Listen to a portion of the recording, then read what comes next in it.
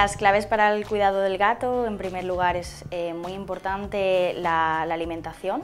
El gato en su estado natural es un animal salvaje que se alimenta básicamente de proteína.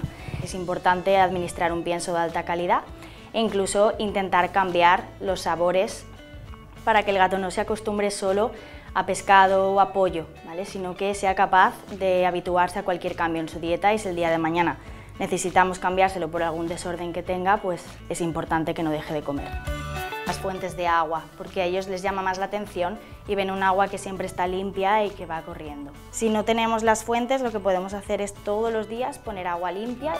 El tema del aseo, ellos son gatos que se suelen eh, acicalar diariamente. Eh, esto es importante tenerlo en consideración y observar si nuestro gato deja de acicalarse en algún momento porque puede indicarnos que tiene algún trastorno como dolor en la boca, que podría ser un problema em, relacionado con algunos virus u otras patologías orales. Es importante eh, administrar la malta, sobre todo en los cambios de estación donde ellos se acicalan más habitualmente para evitar la formación de bolas de pelo. Las arenas es importante que siempre estén limpias, que, si hay varios gatos en la vivienda tengan disponibilidad de un arenero o dos por cada gato, que la arena sea confortable.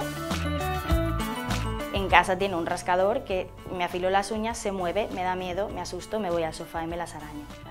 Y muchas veces los propietarios se enfadan y regañan al animal, pero él no entiende por qué se le está regañando. Evitar las ventanas abiertas, ellos necesitan salir al exterior y es una, es una urgencia bastante frecuente tener gatos paracaidistas, los llamamos así.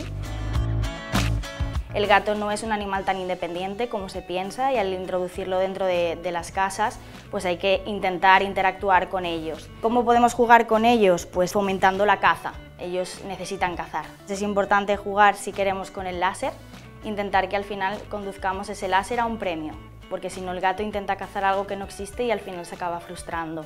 Igualmente tenemos que eh, intentar que nuestro gato tenga acceso a varias alturas, podemos colocar estanterías, esconder bolitas de premio o de pienso en las estanterías para que ellos no, no sea un gato aburrido que se pasa todo el día en el sofá durmiendo y comiendo, que al final lo que estamos haciendo es gatos obesos.